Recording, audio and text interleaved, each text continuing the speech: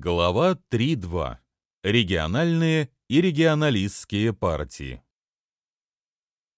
Региональные партии представляют собой подвид идентичностных политических объединений, в которых в агрегации электората упор делается не столько на идеологическую платформу, сколько на апелляцию к общности избирателей.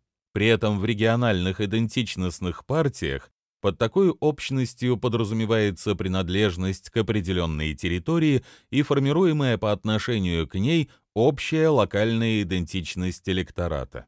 Как результат, склонность к территориальной дифференциации заложена в саму суть таких объединений, является их родовым признаком. Чаще всего подобная ориентация в политической активности на конкретную территорию реализуется в этнических партиях, объединенных обособленным ареалом проживания народа, партия венгерского меньшинства в Словакии. Но бывают и конфессиональные, католическая Шинфейн в Северной Ирландии, лингвистические, Вальдостанский союз в Италии, представляющие интересы носителей арпитанского языка, эмигрантские, партии, ориентированные на выходцев из СССР в Израиле, и даже скорее культурные, партия Липован в Румынии, региональные партии. Но бывают региональные партии, культивирующие локальную идентичность, не отягощенную этнокультурным своеобразием, свободная партия Зальцбурга в Австрии. Ровно как бывают и этнические партии со слабым региональным компонентом. У территориально необособленных меньшинств этнических, как у партии цыган в Румынии, или, скажем, конфессиональных, как у африканской мусульманской партии в ЮАР, или партии этнического большинства, Индийский национальный конгресс.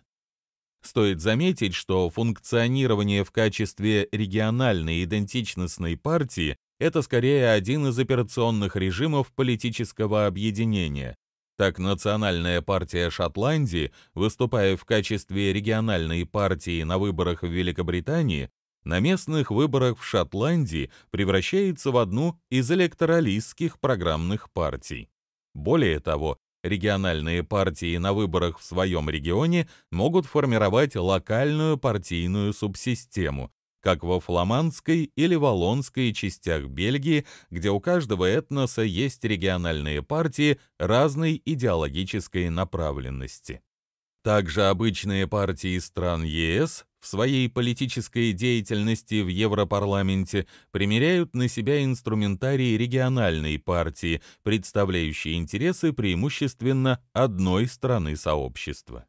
Очевидно, что политическая платформа региональных партий выстраивается вокруг отстаивания интересов титульного региона или меньшинств. Обычно эти интересы укладываются в следующие направления. Первое. Признание существования обособленного местного сообщества и необходимости сохранения его самобытности. Второе разработка мер по защите и развитию культурной самобытности местного сообщества. Третье. Легализация социальной активности местного сообщества в привычных для него укладах и формах, скажем, на его родном языке. Четвертое. Обеспечение участия местного сообщества в политическом процессе в качестве обособленной силы. Пятое. Расширение экономической самостоятельности местного сообщества. Шестое. Передача политических полномочий местному сообществу, означающая наделение его правом законодательной, исполнительной и судебной деятельности в рамках переданных компетенций.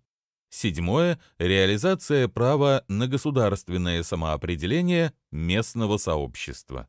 Политические объединения, строящие свою платформу вокруг идей государственного самоопределения и сепаратизма, выделяются в отдельную подгруппу регионалистских партий. Из-за такой своей склонности региональные и этнические партии запрещаются в ряде стран как опасные для их единства, например, в России.